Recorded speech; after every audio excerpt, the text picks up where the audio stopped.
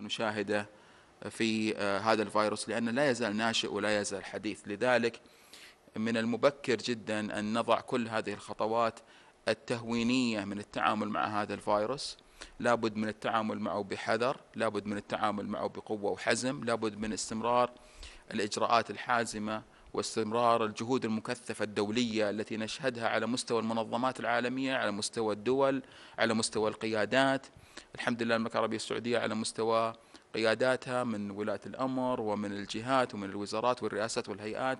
تبذل قصارى جهودها وتركيزها لحماية هذا المجتمع. البشرية يجب أن يتكاتف الجميع لحمايتها حتى معرفة أكثر وضمانة أفضل لسلامة الجميع. وحتى ذلك الحين نعم الإجراءات والاحترازات مهمة ولكن لا شك أنه سنسير يوما فيها بالتدريج نحو حياتنا الطبيعية كل ما تمكنا من قوة التعامل بالاحترازات الجيدة والخطوات الوقائية من هذا الفيروس.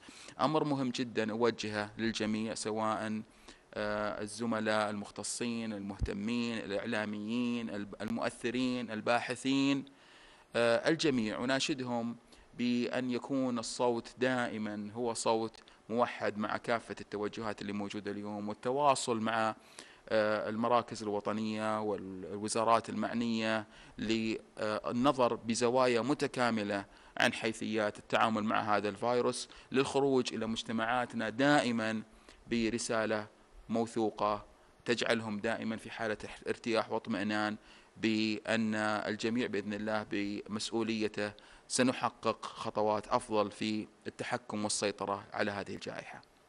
شكرا. من صحيفة عكاظ الأستاذ عبد الله آل هتيلة يسأل ارتفاع مؤشر الإصابات يثير الهلع والخوف في نفوس المواطنين والمقيمين. ما هو التفسير الطبي لهذا الارتفاع وإلى ماذا يشير؟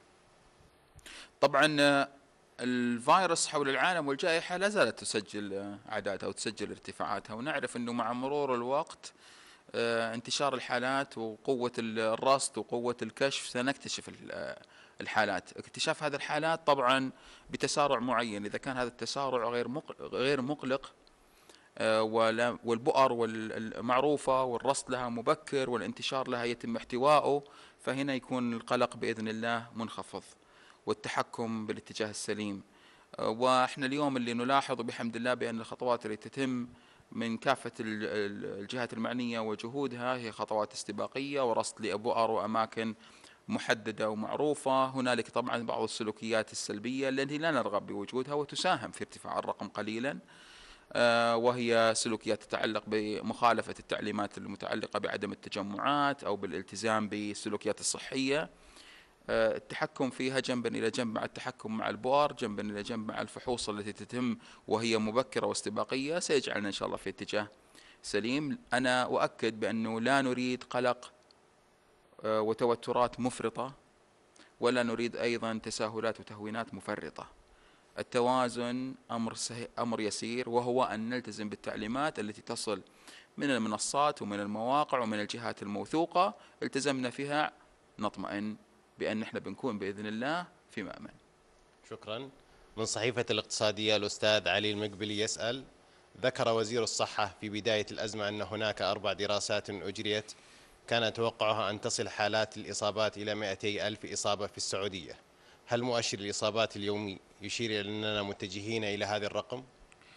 أنا أذكر أن الدراسات آه، التي سبق الإشارة إليها قبل أسابيع كانت تتكلم على أن قد تصل المنحنيات في أدناها وأعلاها. كان في أدنى وأعلى. الأدنى كان في حدود العشرة آلاف تقريبا والأعلى كان ما بين المئة وستين إلى مئتين ألف وأكثر حالة. وكان المدى الزمني منتصف آه، شهر إبريل تقريبا. لو نراجع شهر إبريل في منتصفه سنجد الحمد لله أن الإجراءات التي تمت جعلت منحنى المملكة وتسجيل الحالات التراكمية يكون في المستوى الأدنى بحمد الله. وهذا يدل على أنه المملكة تسير في اتجاه جيد في اتجاه تحكم وفي اتجاه سيطرة. وكل ما التزمنا وكل ما واصلنا جهودنا بإذن الله سنكون في هذه المستويات. طبعا من من من أبريل إلى اليوم ما تقدم الزمن فبالتالي المنحنى يختلف شكله وتختلف مستوياته لكن من الأمور الحمد لله المبشرة بأن لا تزال الاتجاهات سليمة والمنحنى ليس في مستوياته العليا في الرصد في المملكة وإنما في مستوياته المتحكم فيها وإن شاء الله نستمر بهذه الاتجاهات. شكرا.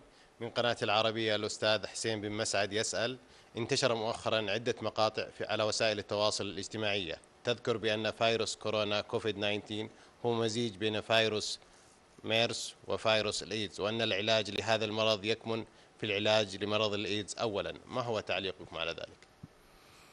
حقيقة آه، وصلت مجموعة استفسارات ومجموعة تساؤلات.